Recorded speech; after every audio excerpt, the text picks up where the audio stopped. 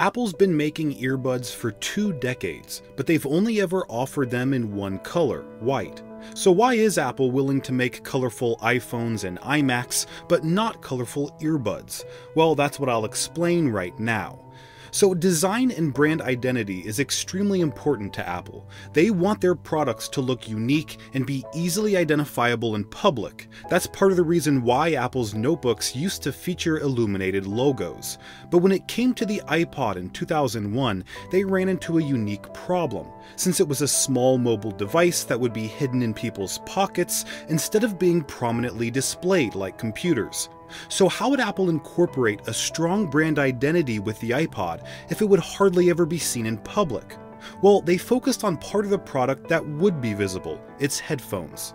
But earbuds were too small to feature something like an Apple logo, so they focused on any headphone's most defining feature, their color. At that time, virtually every pair of headphones included with CD players and Walkmans were black, so to stand out, Apple went the other direction, making their headphones pure white, which matched the iPod. Apple even highlighted this design choice with their iconic silhouette ad campaign that featured the white headphones perhaps even more than the iPod itself. The product went on to become the best selling music player in the world, and its white headphones became synonymous with the brand.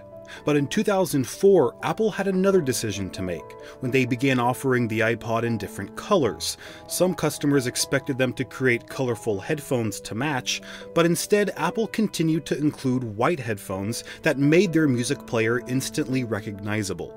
And this approach continues today. Despite the iPod Touch being offered in a variety of colors, they all include white earpods. Despite two generations of AirPods plus an additional AirPods Pro model, Apple continues to offer those in just one color, white.